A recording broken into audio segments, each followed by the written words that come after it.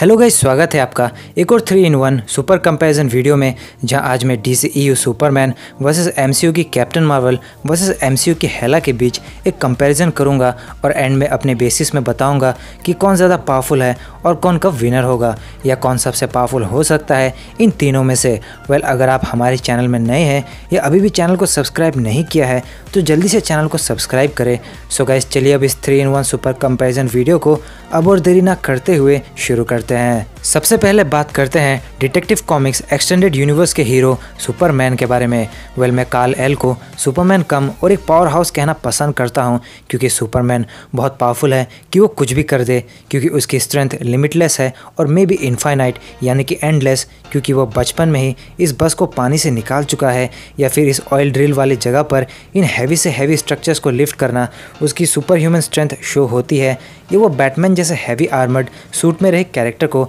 अपने एक पुश से ही कितनी दूर फेंक सकता है तो पूरी स्ट्रेंथ लगा दे तो क्या होगा? इसी के साथ वो फ्लाई करने की कैपेबिलिटी रखता है, जो लोइस लेन को इस गन फायर के पहले ही बचा लेता है, या उसकी माँ को खतरे में देख फुल सोनिक स्पीड में फ्लाई करके आना, और पल भर में जॉट को वहाँ से ले जाना, या सुपर स्पीड में अनकाउंटेबल पंचेस करना लिटरली काफ़ी फास्ट था। इसी के साथ वो वर्ल्ड इंजन के ग्रेविटेशनल पुल को ओवर करके वहाँ से फ्लाई कर गया जो नेक्स्ट टू इम्पॉसिबल है, लेकिन क्योंकि वो सुपरमैन है तो वो सबसे सुपर है। या फ्लैश जो डी e का भी सबसे फास्टेस्ट कैरेक्टर है सुपरमैन अपने रिफ्लेक्सेस के मदद से उसे भी मूव होते हुए देख लेता है, या उसके बराबर की स्पीड में ट्रेवल करता हुआ नज़र आया है। या बात करें उसकी ड्यूरेबिलिटी की तो गैस वो इनवलनरेबल ही है। बुलेट्स मिसाइल्स बॉम्ब जैसी चीज़ों से, यानी कि ये चीज़ें उसका बाल भी बाका नहीं कर सकती। और अगर तब भी कभी उसे क्रिप्टोनाइट बुलेट्स या न्यूक्लियर मिसाइल हिट करे तो वो सनलाइट के सामने आते ही हील हो जाएगा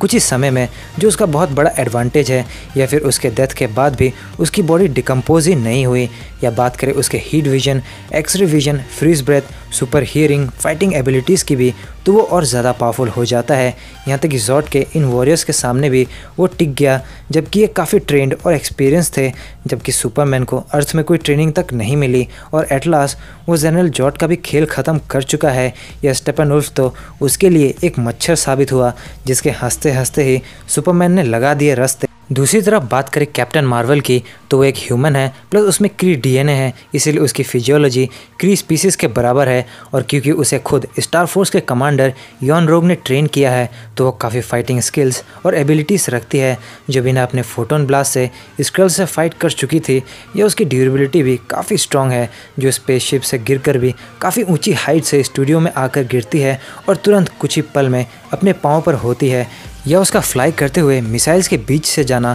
और कोई बड़े इंजरी या उसे थोड़ी बहुत भी खरोच तक नहीं आई या फिर यहाँ स्टारफोर्स से लड़ते हुए वो भी काफ़ी हिट्स झेल गई थी। इजीली या थैनोस के पावर स्टोन के ज़ोरदार पंच से हील हो गई कुछ टाइम में। वहीं बात करें उसकी स्पीड की तो वो अर्थ से स्पेस का डिस्टेंस कुछ ही सेकेंड्स में पूरा कर लेती है या वो बाइनरी मोड में आते ही अपने टॉप स्पीड पर होती है, जो कुछ ही सेकेंड्स में फ्लाई करते हुए मिसाइल्स को डिस्ट्रॉय करके एयरक्राफ्ट तक को खिलौने की तरह तोड़कर रख दिया था। उसने। या आउटर स्पेस में बिना किसी मेजर वीकनेस या प्रॉब्लम के फ्लाई करके स्कल शिप के बराबर में फ्लाई कर चुकी है। या टोनी स्टाक और नेब्यूला के बैनेटर को ढूंढते हुए उसे लिफ्ट करके एवेंजर्स फैसिलिटी में रख देना उसकी स्ट्रेंथ को भी शो करता है। या उसका सुपर स्पीड में फ्लाई करते हुए आना और थैनोस की सेंचुरी शिप को डिस्ट्रॉय करना क्लियरली उसे बहुत पावरफुल साबित करने का एक बड़ा प्रूफ है। इसी के साथ वो agility enhance reflexes invulnerability binary mode के दौरान यह फोटोन ब्लास्ट कर सकती है प्लस एनर्जी एब्जॉर्ब कर सकती है,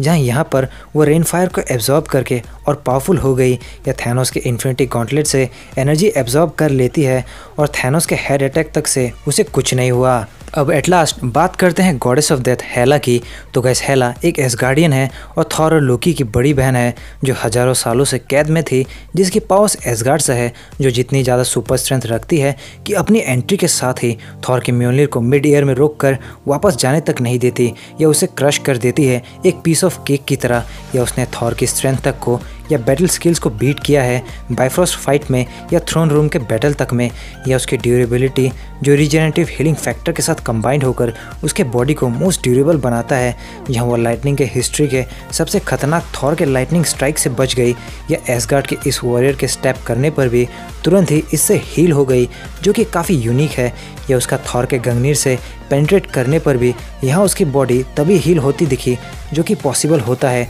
एसगार्ड से, क्योंकि उसकी पावर्स एसगार्ड में होते हुए बस बढ़ती ही जाती है। वैसे ही वो फ्लाई तो नहीं करती हुई दिखी, मगर उसके रिफ्लेक्सेस एजिलिटी या उसके बॉडी मूवमेंट्स काफ़ी क्विक है, जो उसके कॉम्बैट स्किल्स या फाइटिंग एबिलिटीज़ को एक बहुत ही बड़ा एडवांटेज देता है, जहाँ हेला आर्टिलरीज या फायर अटैक्स का डॉच करते हुए यहाँ काफ़ी स्पीड से एसगार्ड की आर्मी को अकेले ही संभाल चुकी थी। या ये कहना गलत नहीं होगा कि वो यहाँ लाशें बिछा देती है। और एटलास भी, वो थॉर और वेलकारी जैसे वॉरियर्स को ओवर पावर तक करती है और उसने ओडिन के साथ मिलकर एक के बाद एक रियाम्स में कब्जा जमाया था, जहाँ वो खुद ओडिन की वेपन थी। वेल, हेला का वेपन कुछ और नहीं, बल्कि नेक्रोसवर्ड्स है, जो इतना पावरफुल था कि इसने पूरे वेलकारिस को ख़त्म करने जैसे फीट्स हासिल किए हैं। या एसगार्ड के वॉरियर्स के साथ भी, या इन आर्टिलरीज को डिस्ट्रॉय करने से लेकर नेक्रोसवर्ड्स थॉर की आँखें फोड़ चुकी है और फैनराल और वॉलस्टैक को मौत के घाट उतार चुकी है, या होगुन का भी कुछ ऐसा हालत कर देती है, या हेला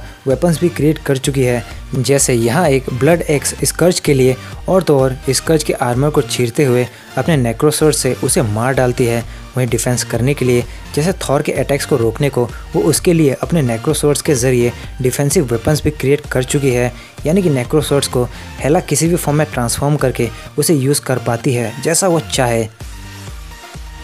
तो गाइस अब बात करते हैं रिजल्ट्स की, कि आखिर डी e का सुपरमैन या एम की कैप्टन मार्वल या एम की हेला के बीच कौन विनर होगा? या कौन पावरफुल है? सो गाइस सुपरमैन एक इमेंसली पावरफुल कैरेक्टर है, जिसकी पावर्स की कोई लिमिट नहीं है, लेकिन उसकी वीकनेस क्रिप्टोनाइट या लेड है, जिसके आर पार वो देख नहीं सकता है, और उसकी फाइटिंग स्किल्स उतनी स्ट्रांग नहीं है, क्योंकि वो यहाँ अपने ही प्लेनेट के वॉरियर्स के सामने इस मामले में स्ट्रगल करता है। मगर हेला को कोई अपनी फाइटिंग एबिलिटीज़ से ओवर पावर तो दूर की ही बात है, मगर उसके सामने कोई टिक तक नहीं पाता है, जिस कारण हेला बैटल स्किल्स के मामले में सुपरमैन के अगेंस्ट विनर है, और अगर ये फाइट एसगार्ड में हुई तो सुपरमैन के लिए हेला के सामने जीतना बस 10 परसेंट का ही चांस रहेगा और हेला सुपरमैन के अगेंस्ट विनर होगी, क्योंकि एसगार्ड उसका पावर सोर्स है प्लस उसकी हीलिंग फैक्टर और ज़बरदस्त कॉम्बैट स्किल्स के साथ नेक्रोसोर्स मैनिफेस्टेशन उसे विनर बनाता है। मगर एसगार्ड के बजाय ये फाइट कहीं भी हुई और किसी तरह सुपरमैन हेला को अपने हीट विजन या लिमिटलेस स्ट्रेंथ से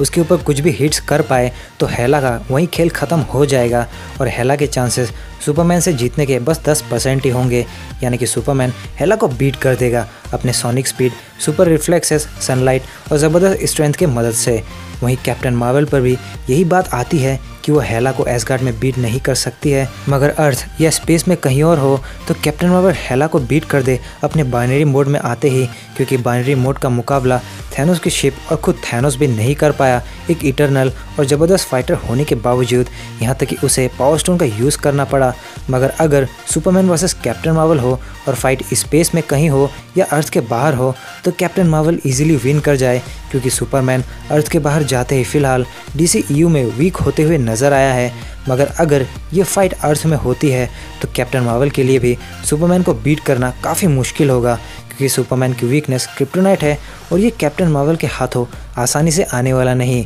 और सुपरमैन अपने रिफ्लेक्सेस के कारण या सोनिक स्पीड के कारण कैप्टन मार्वल को बीट कर दे, मगर कैप्टन मार्वल भी सुपरमैन को बीट कर सकती है अर्थ में भी, क्योंकि कैप्टन मार्वल एनर्जी एब्जॉर्ब कर सकती है, जो उसका एक बहुत ही बड़ा एडवांटेज होगा। मगर ऑब्वियसली गाइस सुपरमैन की इनवलनरेबिलिटी भी कोई कम नहीं, जहाँ कैप्टन मार्वल बस बाइनरी मोड में ही अनअफेक्टेड रहती है, बड़े मिसाइल्स या बुलेट से कह लीजिए। लेकिन सुपरमैन अपने क्लार्क कैंट वाले फॉर्म में भी उतना ही स्ट्रॉन्ग ड्यूरेबल और इनवलनरेबल है और उसके बड़े से बड़े घाव सनलाइट के करीब आते ही हील हो जाते हैं, जिस कारण इस three in one super comparison का विनर तीनों ही है, लेकिन डिपेंड करता है कि कौन सी पॉसिबिलिटी है और फाइट कहाँ होगी, जैसे थोड़े पहले मैंने आपको बताया है। मगर स्ट्रेंथ और स्पीड जैसे मामलों में सुपरमैन पावरफुल है, वहीं हेला सबसे बेस्ट फाइटर होगी और सबसे पावरफुल फाइटिंग एबिलिटीज़ रखने वाली फाइटर होगी और कैप्टन मार्वल स्पीड और बाइनरी मोड के कारण स्पेस के बाहर या अर्थ में अनस्टॉपेबल होगी अपने बाइनरी मोड के वजह से। तो गैस ये थी डी के सुपरमैन वर्सेस एम के हेला वर्सेस एम की कैप्टन मार्वल के बीच एक three in one super comparison video जिसे मैंने टोटली मूवीज़ के फॉर्म के बेसिस में बनाया है। तो अगर आपको ये वीडियो अच्छी लगी हो तो वीडियो को लाइक और शेयर करें, साथ ही कमेंट करके बताएँ, आपको क्या लगता है आपके हिसाब से कौन विनर है और आपका फेवरेट कौन है इन तीनों में से। और ऐसे ही औसम और इंटरेस्टिंग वीडियोज़ देखने के लिए हमारे चैनल को सब्सक्राइब करके बेल आइकन को ज़रूर प्रेस करें और मेरे नए कॉमिक्स के चैनल कैप्टन हेमन 360 को भी सब्सक्राइब करें मार्वल और डीसी रिलेटेड कॉमिक्स कंटेंट्स देखने के लिए, जिसके लिंक डिस्क्रिप्शन में है। तो गाइस मिलते हैं बहुत जल्द अगली वीडियो में। This is your captain signing off take care bye bye